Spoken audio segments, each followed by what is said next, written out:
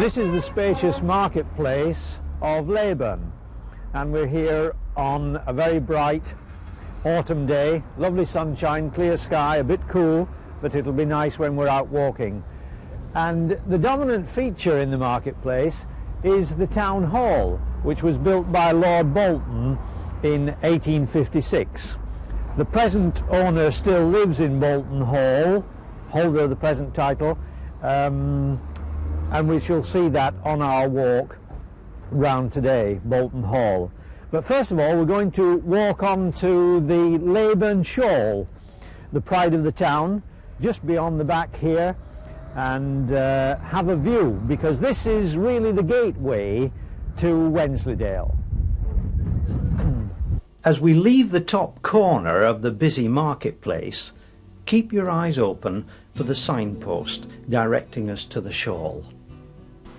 Our first route takes us along the edge of the Leyburn Shawl high above the valley and then descend down through the hillside pastures to the parkland of Bolton Hall. There's a chance to view Bolton Hall from the driveway before reaching the little village of Wensley and then back up the hillside to Leyburn.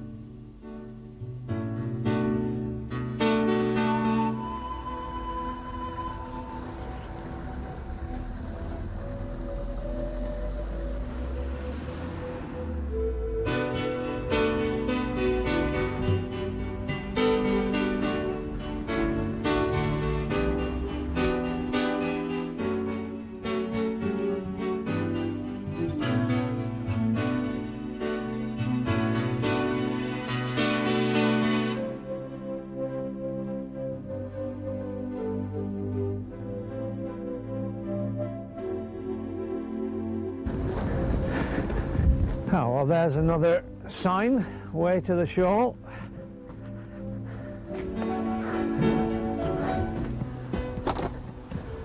And through the kissing gate off onto the shawl itself.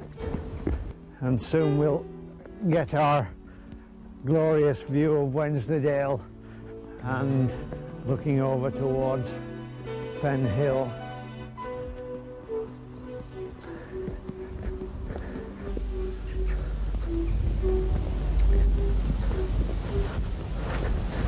Well, here we are at the start of our edge of the shawl and just look at that view.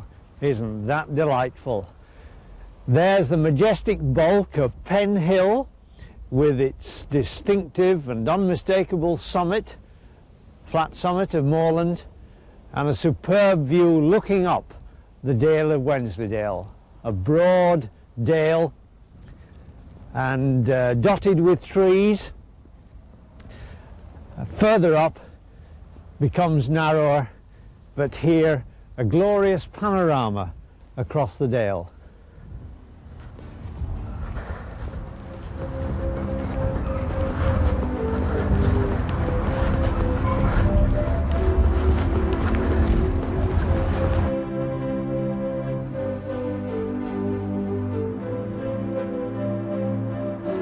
Wensleydale is the broadest of the Yorkshire Dales, broad enough to take a road on both sides of the dale, from Leyburn to Hawes.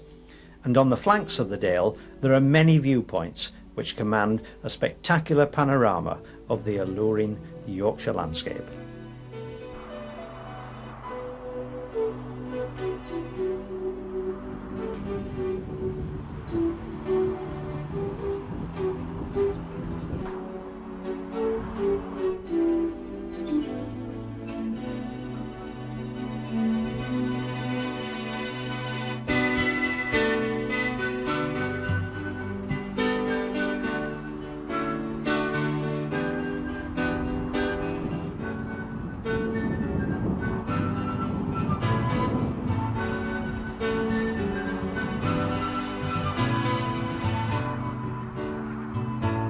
Having had time to ponder, we're on our way along the Shawl.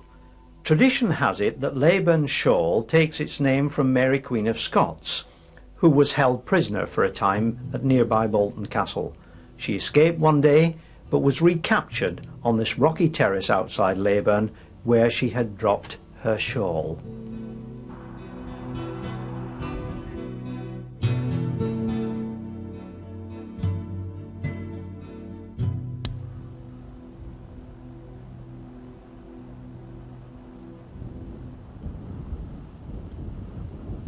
Having come down the hillside pastures, we find a firmer footing on the farm tracks, which can at times be muddy, and then join the driveway through the parkland of Bolton Hall. This is Bolton Hall, which faces over the valley here. It was built by the Marquis of Winchester in the 17th century, who married one of the daughters of the last Lord Scrope from Bolton Castle. That was slighted at the end of the Civil War, and so this became the new family home and it has been for the last 300 years.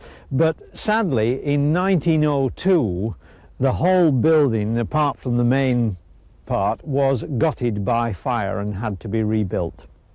But for 300 years, it's been the family home for the Boltons.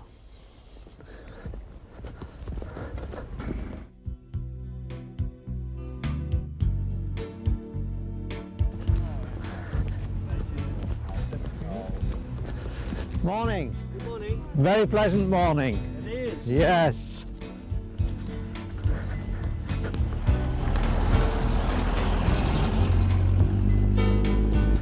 It's time now to stride out on the less strenuous part of our walk, which heads towards the village of Wensley, which gives its name to the dale.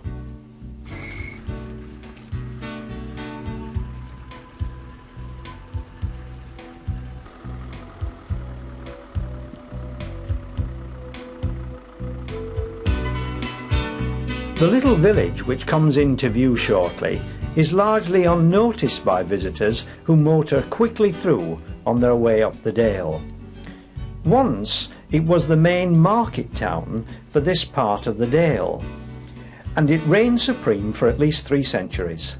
Sadly, its good fortune collapsed almost overnight when the population was devastated in 1563 by the dreaded plague.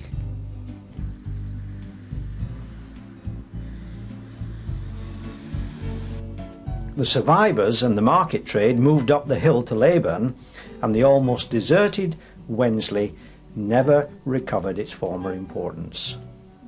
Like a pro.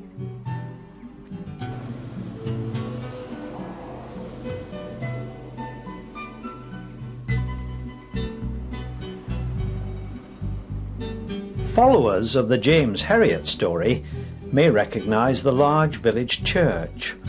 It was chosen by the BBC for the setting of the TV wedding of James and Helen Alderson.